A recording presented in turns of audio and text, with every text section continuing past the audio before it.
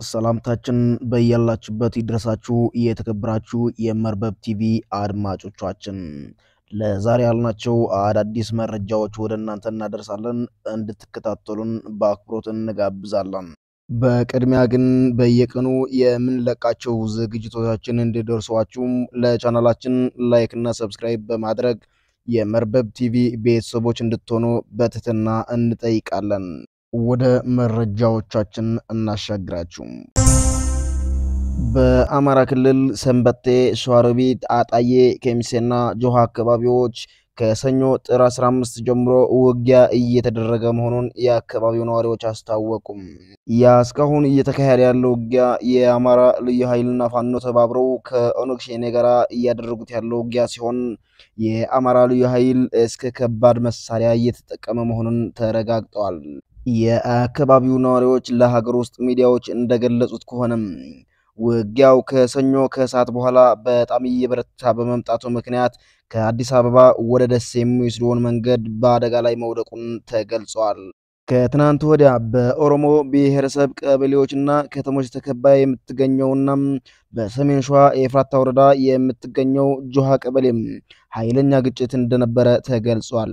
ያ የሰንበቴ ግጭት የተለኮሰው ጆሃ ቀበሌን ለመቆጣጠር በነበረ ግጭት ምክንያት መሆኑን የገለጹት ነዋሪዎች በጣም ብዙ የሰውና የንብረት ጉዳት እንዳስከተለም ጨምረው አብራርተዋል። የአማራ ኮሚኒኬሽን ባለስልጣን አቶ ግዛቸው ሙሉነህ በበኩላቸው የአማራና የኦሮሚያ ባለስልጣናት በጉዳዩ ዙሪያ እየመከሩ መሆናቸውን ገልጸዋል። የህወሓት ሊቀመንበር ዶክተር ደብረጽዮን ገብረ ሚካኤል እየተካሄደ ባለው የክልሉ የምክር ቤት ስብሰባ ላይ በትግራይ ያለውን አመራር መልሶ ማዋቀር እንዲያደርግ ጥያቄ አቀረቡም። ክልሉን ሲያስተዳድር የቆየው የህወሓት ሊቀመንበርና የትግራይ ክልል ፕሬዚዳንት ዶክተር ደብረጽዮን ይህንን የተናገሩት በትግራይ ላይ ባለው የክልሉ ምክር ቤት ስድስተኛ ስራ ዘመን አምስተኛ መደበኛ ጉባኤ በተሰኘው ስብሰባ ላይ መሆኑን የትግራይ ቴሌቪዥን ዘግበዋል። የክልሉ ዋና ከተማ በሆነችው መቀለ ከተማ እየተካሄደ ባለው ስብሰባ ላይ አሁን የጀመርነው ሂደት ከከባድ ጦርነት ወደ ሰላማዊ የፖለቲካ መድረክ የምንሸጋገርበት ነው። ይህንን የሽግግር ጊዜ ደግሞ በጥንቃቄ መያዝና መመራት አለበት ሲሉ ተናግረዋል። ስለዚህ ሰላማችን ተጠብቆና ተጠናክሮ እንዲቀጥል የሚያስችል መልሶ ማዋቀር ያስፈልጋል። በመሆኑም የህወሓት አባላትንና የሌሎች የትግራይ ተወላጆችን አቅም ለመጠቀም የሚያስችል ማሻሻያ እንድናደርግ እንዲፈቅድ ለተከበረው ምክር ቤት ኃላፊነት እንዲሰጥ እጠይቃለሁ ብለዋል። ዶክተር ደብረጽዮን ለምክር ቤቱ ይህንን ጥያቄ ያቀረቡት የህወሓት ከፍተኛ የአመራር አባል የሆኑት አቶ ጌታቸው ረዳም በማህበራዊ ሚዲያ ገጻቸው ላይ በአመራሩ መዋቅር ላይ ለውጥ የለም በማለት ከገለጹ በኋላ ነው። ከቀናት በፊት አንስቶም በህወሓት የከፍተኛ የአመራር ቦታዎች ላይ ያሉ ቀደምት አባላት ከኃላፊነታቸው መነሳታቸው የሚገልጹ ሪፖርቶች ሲወጡ የነበረ ሲሆን በዚህም ዋነኛ የሚባሉት የድርጅቱ መሪዎች ስልጣን መልቀቃቸው በተስፋ ሲነገር ነበር። ነገር ግን የህወሓት ቃል አቀባይ አቶ ጌታቸው ረዳ እሁድ ዕለት ለትግራይ ህዝብ ደህንነትና ህልውና አስፈላጊ የሆኑ ጉዳዮች መሰረት ያደረገ ለውጥ ማድረግ መግባባት አለ። አዲስ የተመሰረተ ካቢኔም ሆነ የተደረገ አዲስ አወቃቀር ግን የለም ሲሉ በትዊተር ገጻቸው ላይ ምላሽ ሰጥተው ነበር። ለሁለት ዓመታት የቆየውን የእርስ በርስ ጦርነት ለማብቃት በፌዴራል መንግስትና በህወሓት መሪዎች መካከል በደቡብ አፍሪካ በፕሪቶሪያ ላይ የተደረገው ስምምነት መሰረት አወዛጋቢውን ክልላዊ ምርጫ ተከትሎ የተመሰረተው የትግራይ መስተዳደር ህልውና የሚያበቃ ይሆናል። በዚህም በከባድ ጦርነት ውስጥ ባለፈችው የትግራይ ክልል ውስጥ ምርጫ ተካሂዶ የክልሉን አመራር የሚረከብ አካል እስኪቋቋም ድረስ በፌዴራል መንግስቱ አማካይነት ጊዜያዊ አስተዳደር እንዲመሰረት ይጠይቃል። ሰኞ ጥር 15 2015 ዓ.ም መካሄድ በጀመረው የምክር ቤት ጉባኤ ላይ የፕሪቶሪያው የሰላም ስምምነት አፈጻጸምና ሌሎች ጉዳዮች በማንሳት ዶክተር ደብረጽዮን ገብረ ሚካኤል ሪፖርት አቅርበዋል። ሊቀመንበሩም ከሰላም ስምምነቱ በኋላ በሰብአዊ እርዳታ አቅርቦት፣ መብራት፣ ስልክና የመሳሰሉ መሰረታዊ አገልግሎቶችን በማስጀመር በኩል መሻሻሎች መኖራቸውን ጠቅሰው የተቀሩትንም በአፋጣኝና በበቂ ሁኔታ ስራ እንዲጀምሩ ጠይቀዋል።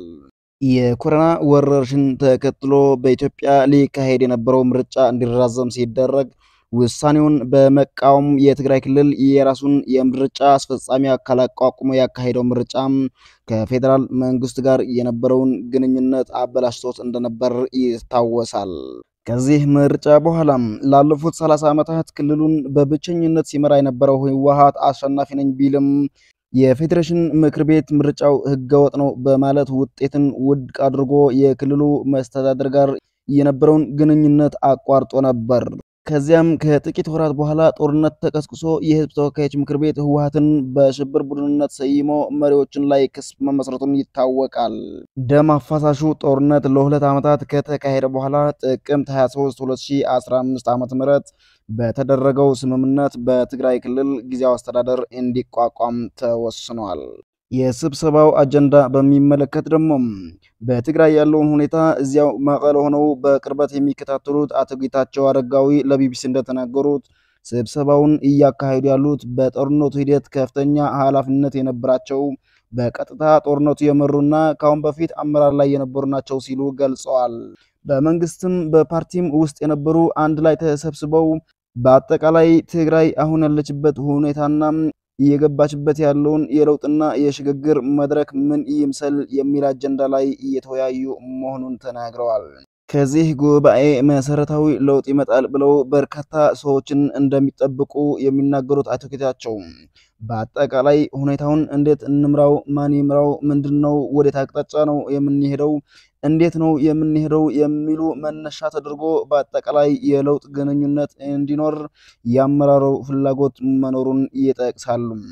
አቶ ጌታቸው እንደሚሉት በትግራይ እስካሁን ከነበረው ሁኔታና የፖለቲካ አወቃቀር አንጻር ጉልህ ለውጥ ሊመጣ እንደሚችል እንደሚያምኑ ነው የተናገሩት። ክቡራንና ክቡራን አድማጮቻችን ለዛሬ ያልናቸው አዳዲስ መረጃዎችን እነዚህ ይመስሉ ነበር።